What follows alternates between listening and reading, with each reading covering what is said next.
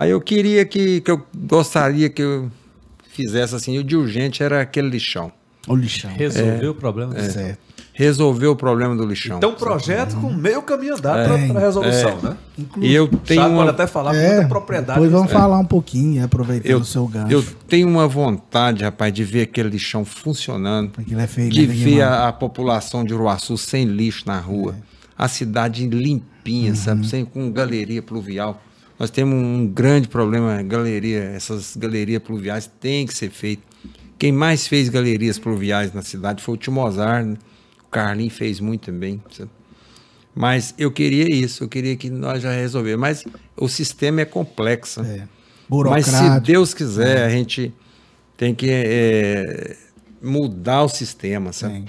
E acredito que o que eu tinha vontade de fazer é que aquele lixão funcionasse, Uhum. E atendesse a demanda. Que é, Nós tivesse... chegamos até a limpar a, É, a área lá isso. para começar a construir o centro de o triagem. Que mais. construir É. aqui uns 10 pontos de coleta seletiva, Uhum. sabe? Acabar com esses caminhões ficando andando, batendo em rua, o- a, a própria população com, levando para Colaborando. para fazer a coleta seletiva, já Uhum. levar tudo arrumado. Isso aí, rapaz, o sonho de é meu sonho, sabe? E trabalhar com o povo, sabe? O povo sair ordeio, tranquilo, gostar da cidade que mora. Porque a cidade só é bonita com, com a alegria do seu povo, né? A cidade só é bonita que se o povo for alegre, feliz com o prefeito, com o vereador, com, com o comerciante. O comerciante ser bonito, alegre, né? Feliz, sabe? Tem que ser assim. E eu acredito que é um sonho que eu tenho, é de ver o lixão funcionando, a população contente com o que vive.